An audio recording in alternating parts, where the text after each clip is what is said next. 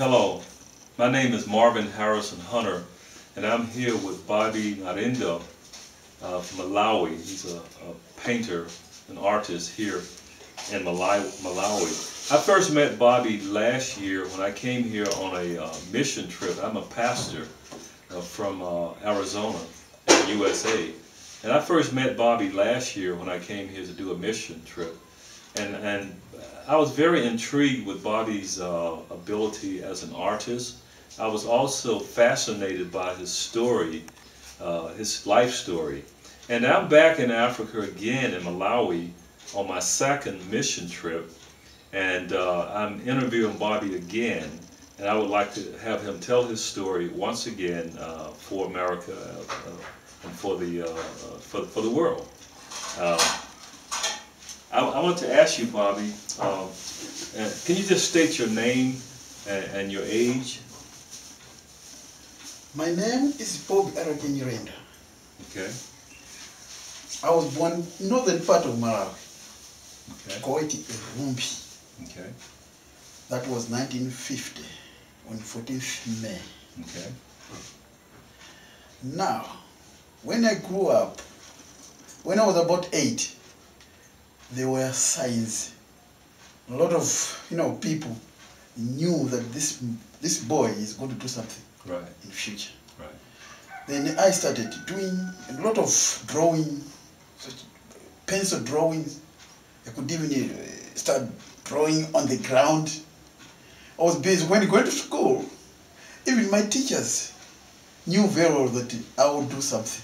I'll become a very good artist in the future. I concentrated. When I came to a higher primary school, I, I, I, tra I traveled as far as what? Zambia. Zambia. Zambia is my, my, my, my, what, my, my next destination. Your next destination? Yes. Okay. Um, my uncle was working in the copper belt mine called Bancroft. That's northern part of Zambia, closer to Zaire, call it Congo. Yes. Democratic Republic of Congo. When I was doing some paintings there, I started going, I wanted to go to secondary school. Then I went to Chirambwe Secondary School, called Chirambwe Secondary School, formerly called Bancroft Secondary School. Okay. And I was doing a lot of work there. Then I met certain teacher by the name Williams, a Briton. He had, she had interest in my, in my, what, in my work. So you met a teacher named Williams? Yeah, Mrs. Williams. Mrs. Williams. Yes. So I was very much interested in doing painting. and I started doing painting. Sometimes when she, when I'm free, I was given an access to teach my fellow students. Yes. At the end of the day, sometimes we had some sort of you know competitions. Then I, there was a certain Briton, British artist by the name David Parry. He was the first uh, artist visited uh, Zambia. David Parry, he is also a very well-known artist in, in Britain. Then, after leaving the place, leaving what Zambia, then uh, came another what artist by the name David Shepherd. David Shepherd, and that's this book that we yes, have right here. Yes, yes, yes. I had interest in, with him. We visited Zambia, number of places. And we went to Kitwe. Yes. And he formed the Chongololo Club. Right. Chongololo Club was a club that any interested person dealing with the wildlife and landscaping and what have you, we used to visit the place and he used to teach us what to do, how, how can you do, how can we, we can learn art, especially in the wildlife. So I had interest in his work. When I started doing my work, there was a certain man who had interest in my work, Mr. Roberts. He had an art gallery in Ndola. I'm sure he's still there. Mr. Robert had got African, it African Gallery. African Gallery. It is in Ndola. Okay. And I told him, if he had interest to buy to sell my work, and he started buy, he started selling my work. So this was the first time that you started. That was the first time. That was that was in early 1970, between 1977 to 78. Okay. 1983, I started doing in Malawi. When I came, you know, I I I, stay, I, stay, I was exiled in Zambia for over 13 years. Then I came back to, to, to, Malawi in 1982 in the October. By January 1st, I came to Malawi, I came to Blantyre. This is Blantyre. Yes. Yes. I contacted the city of Blantyre Parks and Recreation Department. And I told them I've got some collections of paintings. I want to hold an exhibition. I'm a wildlife painter. I was the first person to hold an exhibition at Blantyre Zoo.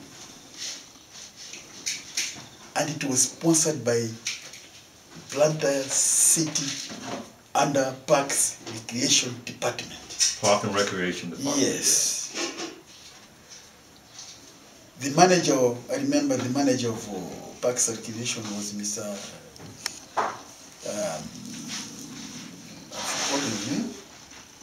Let me remember. Let me remember him. Just go on with the story. Yes. We'll come to you. Hey, you see, sometime. Yes. Then uh, that was uh, there were, that was about 37 paintings that I hold, and uh, all the paintings were sold like hotcake. Really? Where whereby Dr. Banda, the then was the head of the state, had interested to if I could do one So Dr. Banda was the Prime Yes. Minister. was the president of Okay. Yes. The President of Malawi. Yes. Okay. I saw the- he asked if I could do some one painting for him for the house. Then I did it, and I sold it. At that time, dollar was one to one. then I sold it nine hundred fifty kwacha, which means it was nine hundred fifty dollars.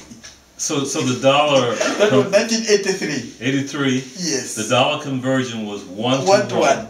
Yes. So for every kwacha, one, it was a dollar. Yes. Okay. Yes. I was very. And that was nine hundred dollars. nine hundred. That was your first big sale. then I was told if I could have a life contract with the government, but not in writing. You understand what? Yes, yes, Then I went, Mr. I, I met Mr. Medi.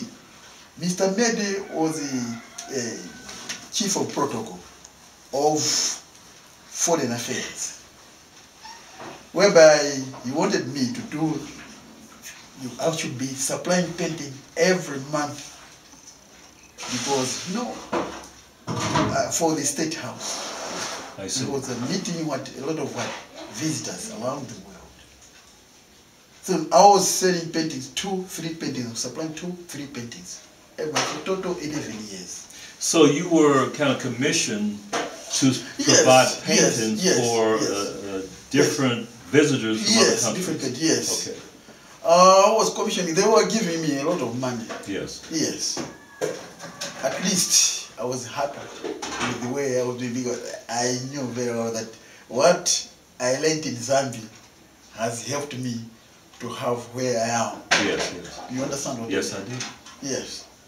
Then there was a, I was not selling to the government only. No, even the statutory bodies, a lot of companies were buying my work. Almost 90% at that time at my work in this country. Okay. You understand? Okay. Now we're going to take a little break, Yes. about 10 seconds, before you close it down.